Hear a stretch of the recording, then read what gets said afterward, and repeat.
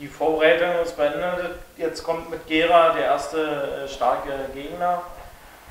Gleich zu Beginn. Ein, zwei Worte zum Start. Ja, ein, zwei Worte erstmal zur Vorbereitung. Ähm, Vorbereitung war soweit okay.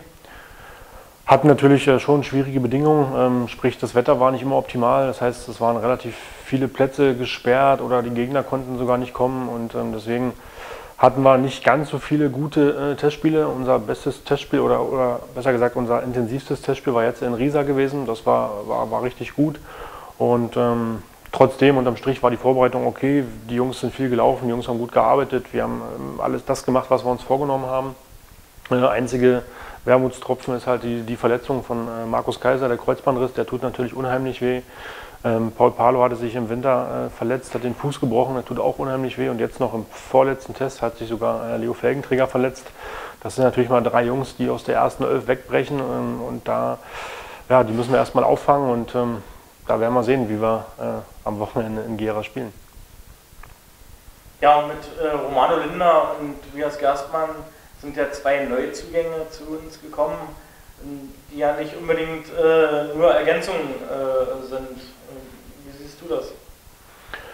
Ja, gerade Tobias Gerstmann, ähm, Markus Kaiser hatte sich ja das Kreuzband gerissen und da haben wir nochmal was, was gemacht und ähm, sind äh, glücklich, dass wir Tobias Gerstmann verpflichten konnten. Er ist ja auch eigentlich ein Cottbusser, ein Cottbusser Junge, ist hier groß geworden, hat von unten bis oben alles durchgespielt bei Energie, ist dann äh, zu KFC Uerdingen gewechselt, von dort aus dann zu Neugersdorf und hat auch äh, viele Spiele in der Regionalliga gemacht und er hatte eine Schambeinentzündung und jetzt müssen wir mal gucken, ähm, ab wann er ähm, ja, richtig mitspielen kann. Er trainiert zwar schon richtig, aber jetzt müssen wir mal sehen, ab, ab wann er auch äh, im Spiel bei uns mitwirken kann.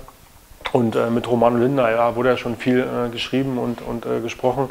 Da haben wir natürlich die äh, Tormaschine aus Lübben, konnten wir verpflichten, konnten wir äh, von dem Projekt VfB Krische überzeugen. Und ähm, da jetzt Leo Felgenträger vorne verletzt ist, werden wir natürlich Romano Linder vorne im Sturm aufbieten und äh, wir sind alle gespannt, was er, was, er, was er uns dort bringt. Ähm, wir sind glücklich, dass er da ist und jetzt heißt es ähm, ja, abrufen. Ja, Gera ist natürlich ein richtig guter Gegner. Ähm, wir haben beide Heimspiele, glaube ich, letzte Saison äh, äh, verloren gegen Gera. Relativ knapp, aber wir haben sie verloren. In Gera haben wir 3-1 gewonnen. Ähm, das, war, das war richtig gut, die Rückrunde letzte Saison.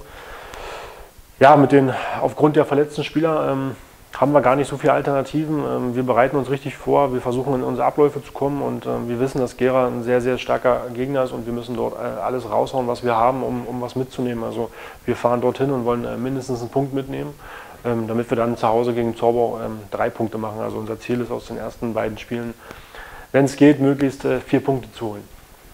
Alles klar, danke Toni.